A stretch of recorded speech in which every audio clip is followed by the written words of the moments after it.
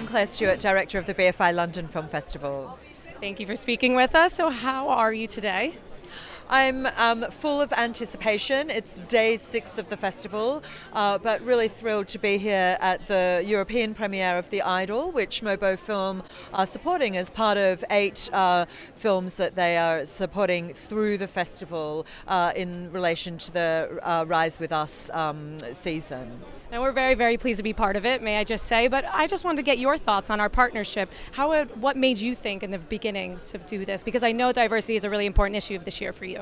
Well, diversity is incredibly important to the BFI as a whole. The BFI has introduced a fantastic new initiative called Three Ticks, which is about ensuring that there is uh, a diversity policy to support producers and to have them widening out the net, as it were, in terms of creative talent and also production talent, uh, you know, behind the scenes.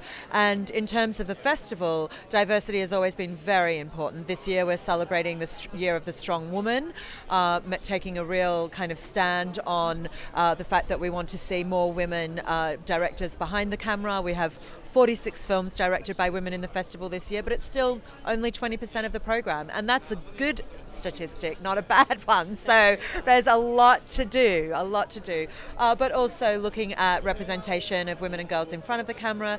Geena Davis has been with us to do a symposium on that subject. Um, so that's kind of looking at gender equality, then in uh, uh at, it, sorry, then looking at diversity in a broader context. Uh, you know, we have 72 countries represented in the program. Um, it's very important to us to uh, have, uh, you know, a lot of cultural diversity and to be representing that uh, in the context of the film selection. but we really want to be reaching more audiences in the UK as well. So we see the Mobo partnership as being really fundamental fundamental. That's great, and we're glad to be here. Well, thank you so much for speaking with us.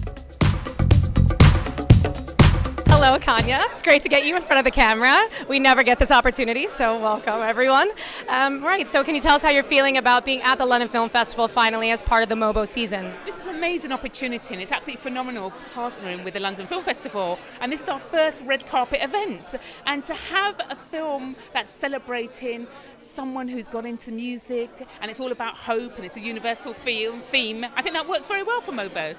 I think so too. I think it very much fits in. For all of you who don't know, The Idol is about the American. Um, basically the Arab Idol, if you will. And Kanya has picked this film herself to be part of the gala event, along with BFI.